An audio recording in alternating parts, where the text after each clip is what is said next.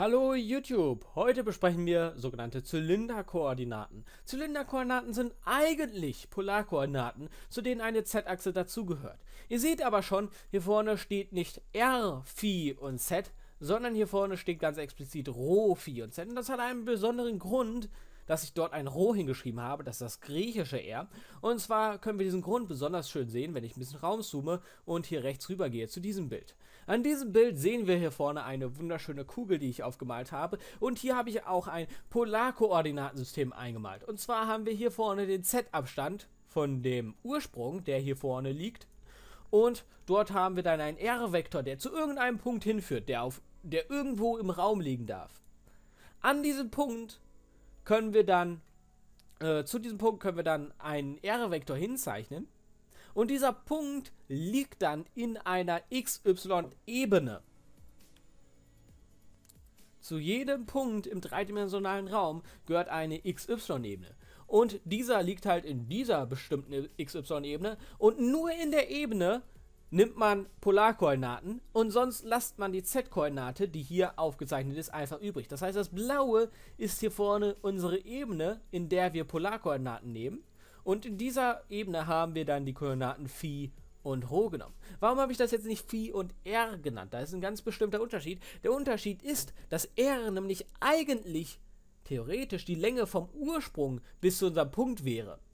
Wir haben aber hier nicht die Länge des Ursprungs bis zum Punkt, sondern wir haben hier die Länge des Ursprungs projiziert auf unsere Ebene und von da bis zum Punkt. Das heißt, von diesem in Z-Achse erhöhtem Ursprung bis zu unserem Punkt. Das ist Rho und nicht vom Ursprung bis zu unserem Punkt. Und deswegen nennen wir das Ganze Rho und nicht R.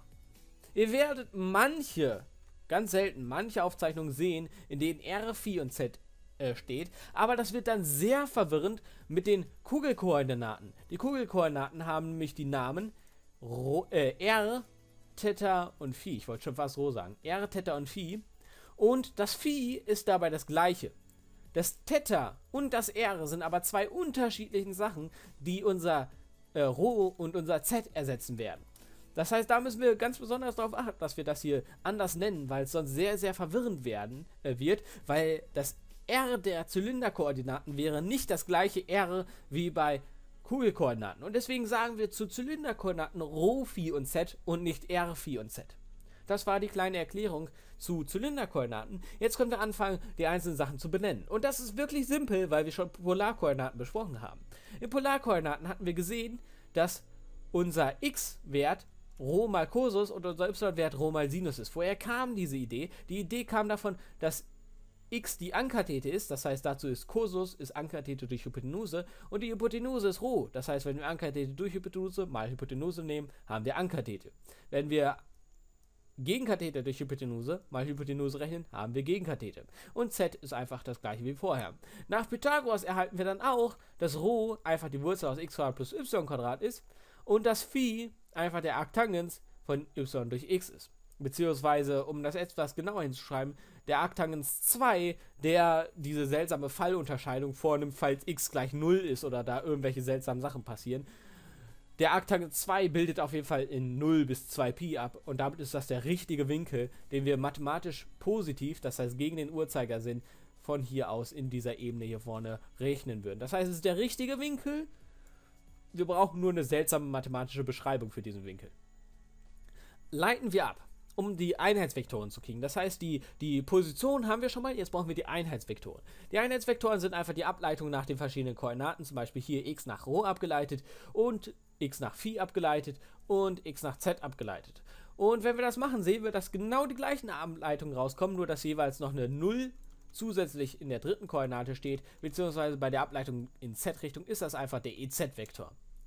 Das heißt, wenn wir das wieder normieren, genauso wie wir das in Polarkoordinaten gemacht haben, sehen wir, dass wir hier alten Kursus Phi, Sinus Phi 0 und dann durch den Betrag davon. Der Betrag davon, dafür müsst ihr einen Betrag ausrechnen können, dazu könnt ihr meine Mathematikvideos anschauen, wie das gemacht wird. Ähm, wenn das Ganze ein Orthonormalsystem ist, auf dem wir den Betrag definieren, können wir auch einfach die ganzen Komponenten quadrieren und addieren und dann daraus die Wurzel ziehen. Das habe ich hier gemacht, Cosinus Quadrat plus Sinus Quadrat. Ähm, ihr könnt aber auch gerne die Wurzel aus dem Skalarprodukt von d Rho x mit sich selber bilden. Das heißt, d rho x mal d rho x. Und ihr werdet sehen, es kommt komplett genau das gleiche raus. Wenn ihr das Ganze auch mit dem E-Phi-Vektor macht, egal wie ihr den Betrag bilden wollt, dann kommt dieser Betrag raus. Und ähm, das hier vorne ist der Vektor, durch de, äh, den wir dadurch teilen müssen. Wir sehen hier vorne Sinus Quadrat plus Cosinus Quadrat ist Ankathete Quadrat plus Gegenkathete Quadrat durch Hypotenuse Quadrat. Das ist nach Pythagoras. Hypotenuse Quadrat durch Hypotenuse Quadrat. Das ist 1.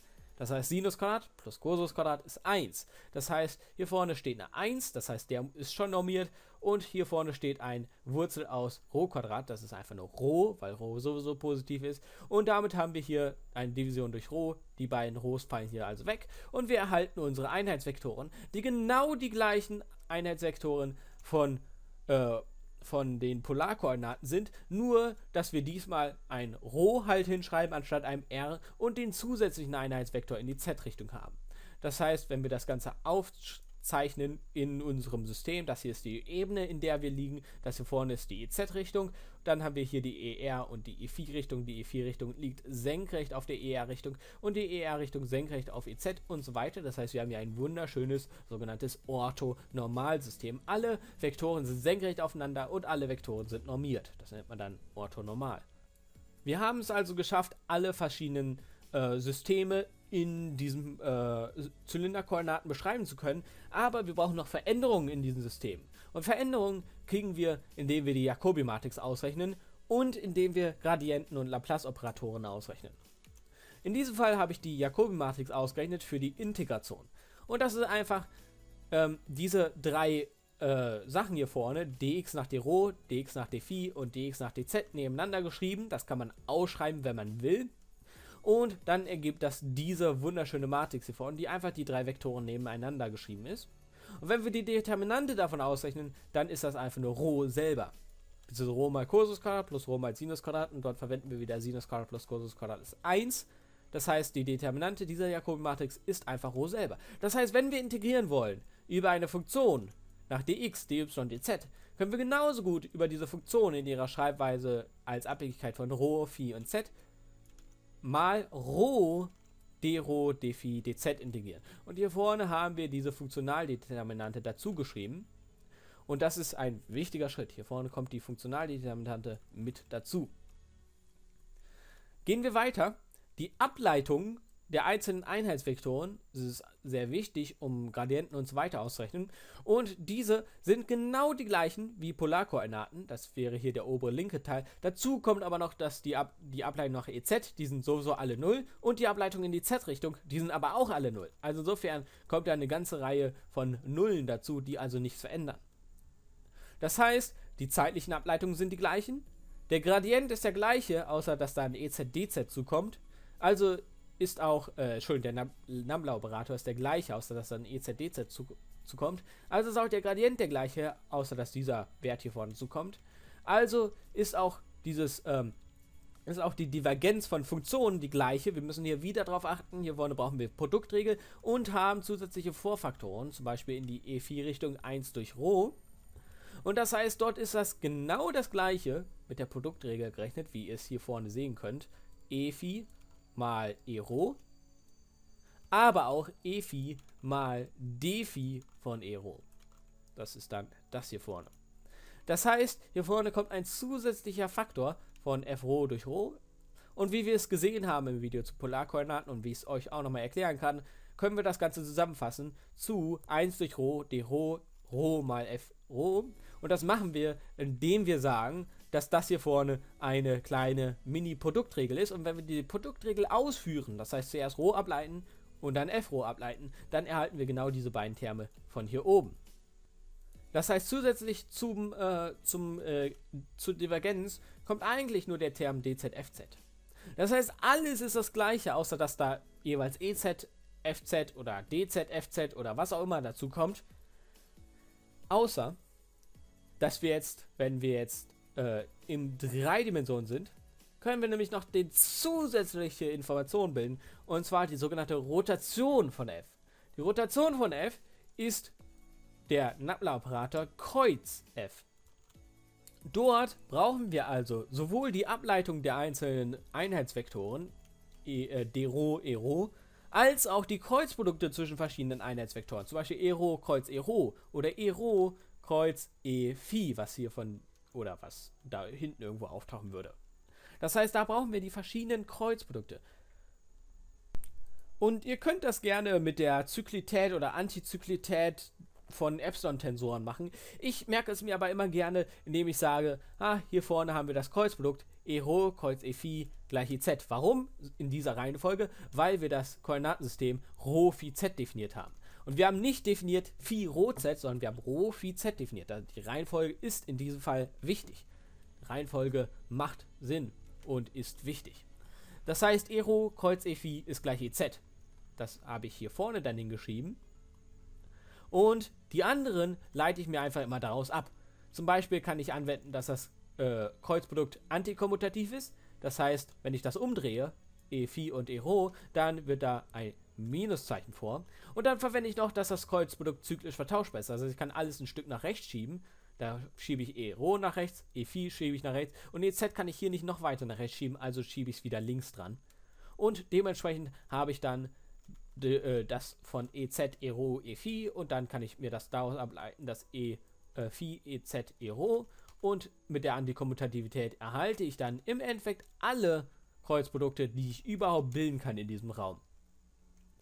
Nachdem ich das dann gemacht habe, alle Kreuzprodukte erhalten habe, das sollten immer sechs sein, dann kann ich hier weitergehen. Ich kann diese ganzen Terme hinschreiben, alle Terme auskreuzen. Das erspare ich euch mal, weil das eine etwas längere Rechnung ist. Es bleibt aber übrig genau das, was wir eigentlich erwartet hätten. Und zwar in die E-Roh-Richtung. In die erste Richtung kommt D2, D3 minus D3, D2, wie wir es im äh, kartesischen Koordinaten hätten. Außer, dass da jeweils, wenn wir hier D4 haben, noch ein 1 durch Rho davor kommt von der Normierung unseres Faktors. Und auch hier vorne steht zwar nicht davor, aber ist ausgeklammert. Und zusätzlich vor jedem äh, Phi, was nach Rho abgeleitet wird, ähm, kriegen wir noch zusätzliche Faktoren, weil die Ableitung des E-Phi-Vektors, äh, weil die Ableitung des ER-Vektors nach E-Phi ist nämlich nicht 0. Das heißt, hier kriegen wir auch noch wieder diese zusätzlichen Terme. In diesem Fall wäre das 1 durch Rho Phi plus Rho äh, D Rho Phi.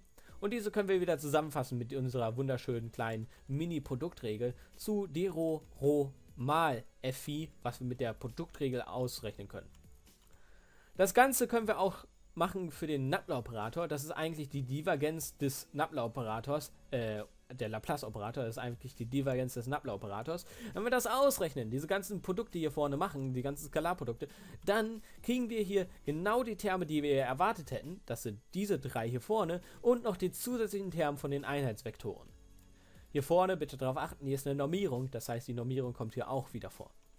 Das heißt, das Ganze können wir jetzt wieder umschreiben mit einer kleinen, wunderschönen kleinen Produktregel. Aber was rauskommt, ist dann halt dieser lange Term, wo wir dz haben die Phi-Quadrat mit der Normierung dazu und diesen Term hier vorne in d Rho, wo wir eigentlich genau das gleiche haben wie zum Beispiel auch bei der Divergenz, nur dass dahinter dann ein d Rho steht, anstatt ein f Rho zum Beispiel. Wenn wir das Ganze dann äh, benutzen auf ein Vektorfeld, das geht nämlich auch, dann müssten wir das eigentlich davor schreiben, vor das Vektorfeld, und dann multiplizieren wir das einfach mit dem Vektorfeld. Und das Ganze, kann ich euch jetzt schon sagen, ist eine etwas längere Rechnung, deswegen werde ich euch jetzt mal große Teile davon ersparen. Aber es gibt ein paar Sachen, auf die wir achten müssen, weil wir jetzt im dreidimensionalen Raum sind. Konnten wir dieses Laplace-Symbol definieren und dieses Laplace-Symbol hat quadratische Ableitungen. Und diese quadratischen Ableitungen sind nicht einfach. Das ist nicht einfach nur, oh, ich leite quadratisch irgendwas hier vorne ab. Ich leite nicht einfach nur quadratisch E Rho ab oder quadratisch F Rho ab, sondern es ist wie a plus b in Klammer zu Grad. Nur, dass wir hier anstatt a plus b haben wir d Rho mal d äh, f Rho und d Rho, äh, d Phi mal e Rho. Ah, schwierig auszusagen. Was wir hier nämlich kriegen, ist einmal a Quadrat, einmal b Quadrat, aber wir kriegen auch Kreuzterme, 2ab.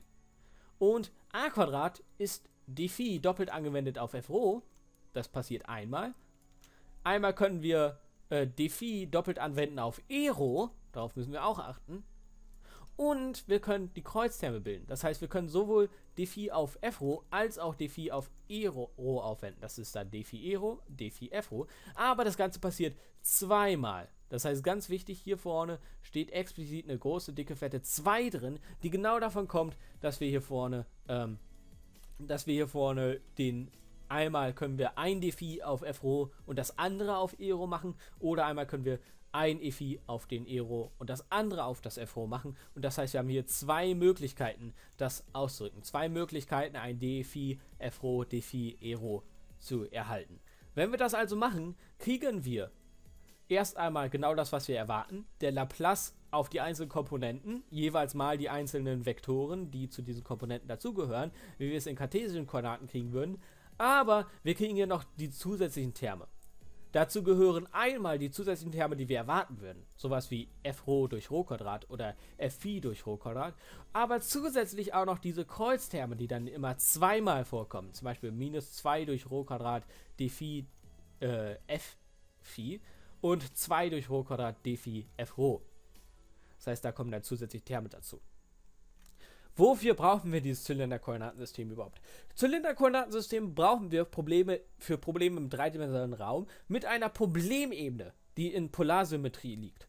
Zum Beispiel das Kepler-Problem. Im Kepler-Problem haben wir das, das gesamte Kepler-Problem. Das heißt, alle Ortsvektoren, die durch das Kepler-Problem beschrieben werden, sind alle senkrecht zu dem Ortsvektor, äh, dem Einheitsvektor in die Richtung des Drehimpulses. Das heißt, EL, die Richtung des Drehimpulses, mal alle Ortsvektoren, die wir überhaupt beschreiben im Kepler-Problem, ist gleich 0. Das heißt, dort erhalten wir, dass Kepler besonders gut in Zylinderkoordinaten auszudrücken ist, weil wir eine Problemebene haben, die senkrecht zu diesem EL-Vektor hier vorne ist. Das heißt, wir wählen einfach den EL-Vektor als unseren EZ-Vektor und haben dann die Problemebene, in der wir sozusagen Polarkoordinaten in Anführungsstrichen einführen. Das nennt man dann eine Ebene, in der wir Polarkoordinaten haben, plus die zusätzliche Achse nennen wir dann Zylinderkoordinaten. Besonders gut ist das aber auch, wenn wir mit irgendwelchen Stäben oder Zylindern umgehen.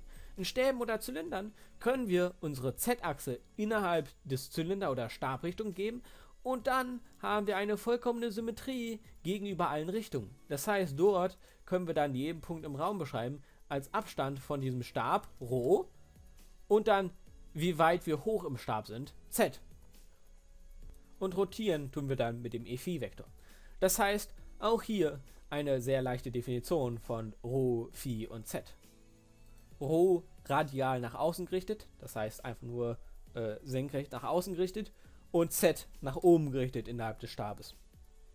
Z nach oben innerhalb des Stabes und R radial nach außen. Wir werden dieses System zum Beispiel in einem der zukünftigen Videos benutzen, um den Trägheitssensor eines Zylinders auszurechnen, was zum Beispiel sehr leicht geht, wenn wir in Zylinderkoordinaten gehen. Aber ich kann euch schon sagen, man braucht es immer wieder. Zum Beispiel, wenn man integriert über ein, äh, äh, ein Raumintegral macht, also ein dv-Integral macht und man dort eine Symmetrie hat gegenüber einem Zylinder. Zum Beispiel kann das vorkommen, wenn wir ein elektrisches Feld haben, das aus einem Zylinder rausgeht. Das heißt, das elektrische Feld eines Leiters, dort brauchen wir direkt Zylinderkoordinaten. Und zwar äh, arbeiten wir da mit Sätzen von Gauss und solchen verrückten Sachen, aber dort brauchen wir zum Beispiel das Integral über Rho dx, dy, dz und wir werden es transformieren in ein Integral über Rho dρ dphi dz mal unsere Funktion, die wir dort hatten. Natürlich werde ich dann da, weil dann sowohl die elektrische Ladungsdichte als auch der Abstand Rho heißen würden, nenne ich dann natürlich 1r, obwohl das r dann nicht ganz so ernst genommen werden sollte. Vielleicht überlege ich mir noch eine andere Notation, damit euch das nicht so verwirrt. Wir sehen uns hoffentlich im nächsten Video zu der Kugelsymmetrie. Bis dahin wünsche ich euch aber noch wunder viel Spaß. Tschüss.